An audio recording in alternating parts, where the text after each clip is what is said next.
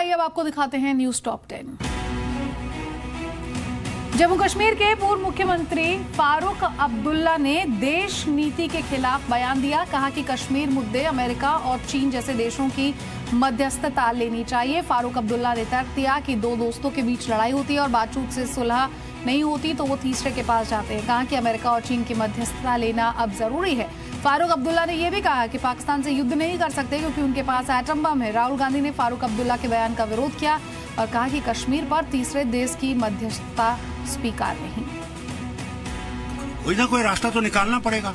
जब आप आज चीन से बात करने के लिए तैयार बैठे हुए हैं, युद्ध नहीं करना चाहते हैं, युद्ध हमारे लिए सोल्यूशन नहीं है तो पाकिस्तान से भी बात करिए। एक ही दफ़ा मिटा दीजिए इस बात को। देखिए, हालात आप कब तक आप इंतज़ार करेंगे? क्या हज़ार साल इंतज़ार करेंगे? आप ये कहते हैं ना, तीसरी पार्टी। ट्रंप ने खुद कहा कि I want to settle Kashmir problem हमने थोड़ा कहा उससे।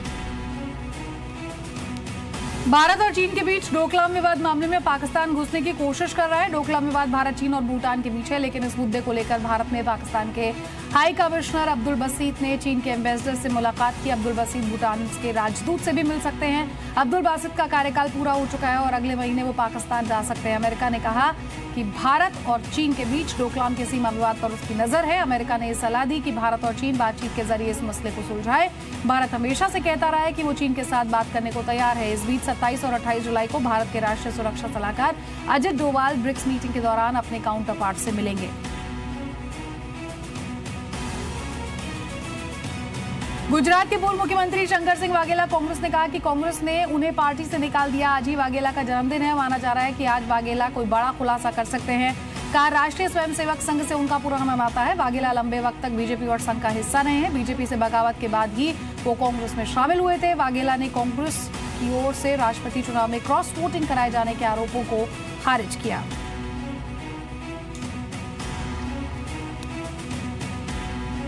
सुप्रीम कोर्ट राम जन्मभूमि बाबरी मस्जिद विवाद की जल्द सुनवाई के लिए तैयार हो गया। सुब्रमण्यम स्वामी की अर्जी पर सुप्रीम कोर्ट की बेंच ने कहा कि वो जल्द ही मामले को सुनवाई के लिए लिस्टिंग करेंगे और इसको लेकर फैसला लिया जाएगा। 2010 में इलाहाबाद हाईकोर्ट के फैसले के बाद भी मामला सुप्रीम कोर्ट में लंबित है। इसी साल मार्च में इस मामले पर सुप्रीम कोर्ट ने रोज सुनवाई से इनकार कर दिया था। बीजेपी सांसद सुब्रमण्यम स्वामी ने कोर्ट में जल्द सुनवाई की अर्जी दी थी।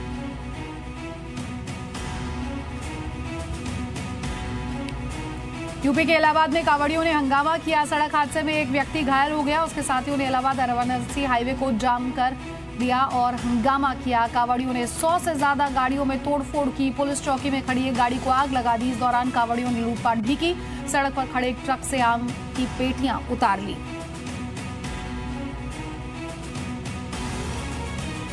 गाजियाबाद पुलिस ने एनकाउंटर के बाद एक बदमाश को गिरफ़्तार किया। एनकाउंटर गुरुवार रात कविनगर इलाके में हुआ। पुलिस ने चेकिंग के दौरान बाइक सवार दो बदमाशों को रोकने की कोशिश की, लेकिन बदमाशों ने रुकने के बजाय पुलिस पर फायरिंग कर की और भागने लगे। जवाबी फायरिंग की गई पुलिस की तरफ़ से तो बाइक गिर गई और वो जंगल की तरफ़ भागने लगा। एक बदमाश पकड़ा गया, जबकि दूसरा बदमाश भागने में कामयाब रहा।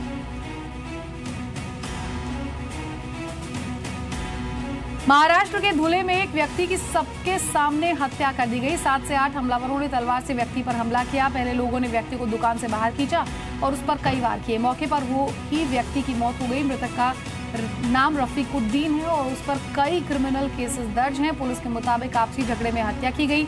सीसीटीवी के आधार पर पुलिस आरोपियों की तलाश कर रही है।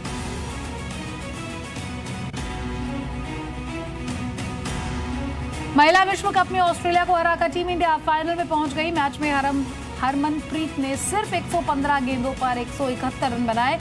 हरमनप्रीत ने अपना शतक सिर्फ़ चौसठ गेंदों में पूरा किया और आखिर तक क्रीज पर डटी रही। 28 साल की हरमनप्रीत कौर पंजाब की मोगा की रहने वाली है। और ये स्कोर महिला विश्व कप में चौथा सबसे बड़ा स्कोर है। अब टीम इंडिया वर्ल्ड चैंपियन बनने के लिए इंग्लैंड की टीम से फाइनल खेलेगी। टर्की और ग्रीस भूकंप के तेज झटकों से काँप गया। भूकंप की वजह से दो लोगों की जान चली गई। इस भूकंप के बाद सुनामी की चेतावनी जारी की गई। भूकंप की वजह से कोई बड़ा नुकसान नहीं हुआ और तीव्रता छह दशमलव सात रिक्टर स्केल पर मापी गई। दुनिया के सबसे गहरे स्विमिंग पूल में तैराकी का ये वीडियो है। फ्रांस के एक तैराक ने बिना सांस, ने सांस लिए बिना 130 फीट गहरे पुल में छलांग लगाई। और नया रिकॉर्ड बनाया। पूरी छलांग उसने दो मिनट में पूरी की और इस दौरान उसने साँसें रोक रखी। ये स्विमिंग पूल इटली के एक होटल में बनाया गया है।